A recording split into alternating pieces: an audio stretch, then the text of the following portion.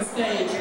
She's coming to us from San Antonio, Texas, representing Miss Gay Austin. Make some noise. This is statistic number 32.